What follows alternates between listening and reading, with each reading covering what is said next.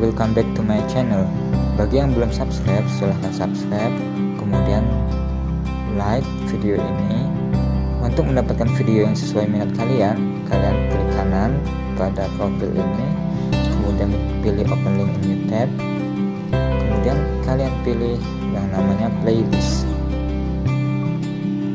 Silahkan dipilih playlist yang sesuai minat kalian Oke, bismillahirrahmanirrahim. Assalamualaikum warahmatullahi wabarakatuh. Nah, kawan-kawan, pada kesempatan kali ini uh, saya akan menunjukkan bagaimana kita uh, menyeken uh, fotokopi bolak-balik pada mesin Kyocera M2040DN ya.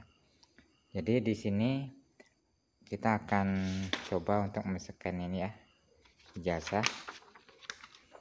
Nah, di bagian sini nanti uh, ini sudah kita langsung pilih saja ya. Kita pilih A4 ya. Kita pilih A4 nanti silahkan disesuaikan saja kawan-kawan mau kertas untuk scannya nanti apa ya.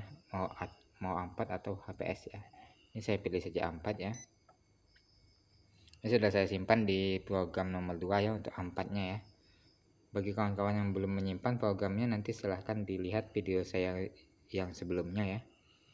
Itu sudah saya buatkan videonya. Nah, di sini kalau sudah seperti ini ya, ini sudah posisinya 4. Nah, sekarang kita tinggal tambahkan lagi di function menu ya. Di function menu kita tambahkan lagi yang namanya duplex ya. Kemudian kalau untuk dia di bagian sini kawan-kawan ya, bagian sini di bagian plat sini dia kita pilih yang namanya ini ya one sided two sided ini ya. Kita pilih saja oke. Okay. nah kemudian langsung saja kita scan kawan-kawan ya. Kita scan.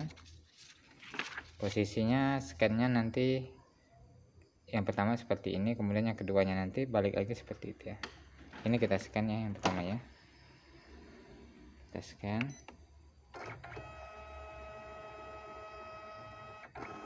Nah ya. Kemudian kita balik lagi scanannya ya nah jadi baliknya itu ke atas itu ya kayak gini ya baliknya ya. Kemudian kita scan lagi.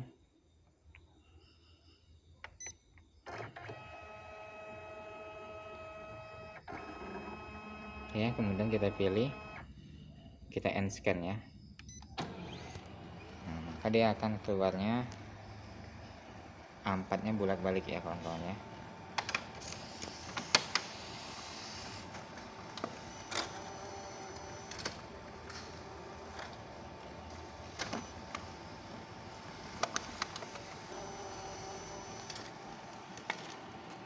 Oke ya nah kita lihat ya nah ini dia scannernya bolak-balik.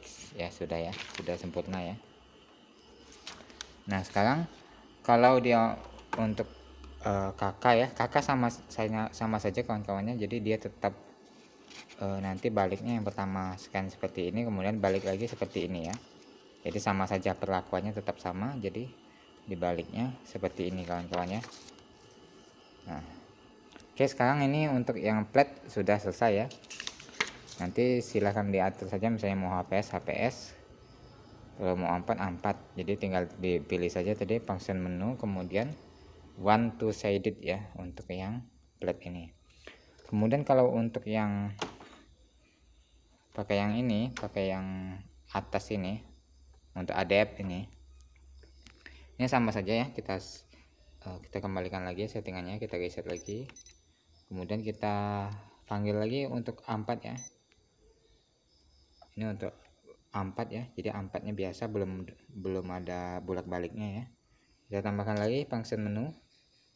Kita pilih function menu kemudian kita pilih duplex ya. Kita pilih duplex kemudian kita pilih yang namanya two two sided. Nah, dua kedua sided ya. Pilih nah ini ya. Kita pilih yang ini. Dua sided dua sided ya. Nah yang ini ya. Yang ini ya. Kita pilih. Nah kemudian kita baru letakkan di bagian atas ini ya. Di bagian atas sini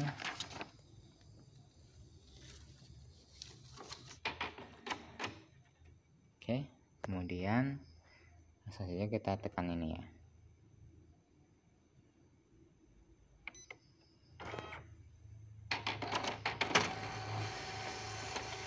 oke maka dia akan otomatis balik sendiri ya dia.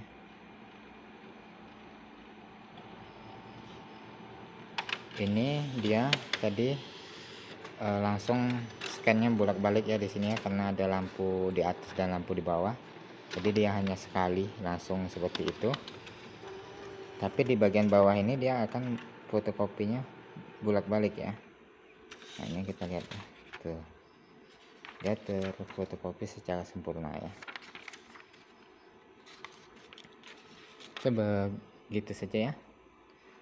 Terima kasih telah menonton video ini. Semoga bermanfaat. Wassalamualaikum warahmatullahi wabarakatuh